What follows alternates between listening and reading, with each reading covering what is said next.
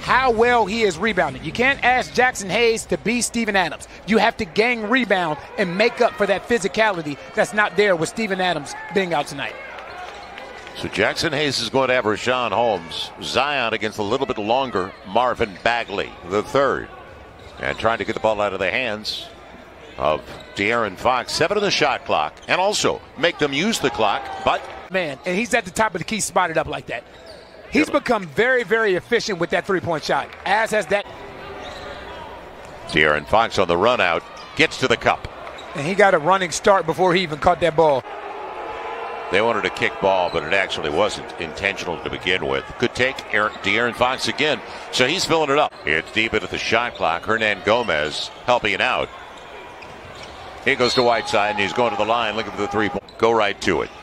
Four on the shot clock for De'Aaron Fox, who's going to get there, isn't he? And he's going to the line to turn tonight. He's missed the last five games. Harrison Barnes inside out for De'Aaron Fox's three. And it's want to see this team finish off this game the way they didn't against the Houston Rockets. Harris. Bledsoe got clipped a little bit. They don't call moving picks anymore. As and, and you Fox. can see what they're doing to stay in front of this man with the ball.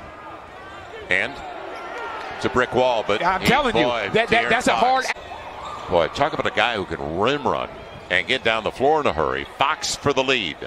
Did a real good job of getting his legs into that shot. Five minutes gone by in the fourth and a 14 to 3 run. They won by five in Sacramento in a close game. De'Aaron Fox gets the long two. Foot of the line when he stepped in. Five minute game. One point lead for Sacramento.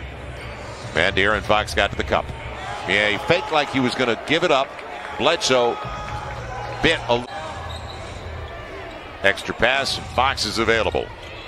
Little show and a go. Nifty move to Aaron Fox. And that started out with miscommunication back here defensively. Uh, led by as many as 10 in the second half. Biggest lead for Sacramento is five. Fox will put them up now. De'Aaron Fox five. is out here dancing right now. You got it. Not bad footwork. He out here dancing right now.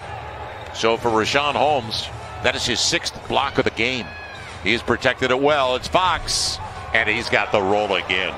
He's taken over. The guy with the ball's got the last dozen. Yep. The last 12 points yep. for the Kings.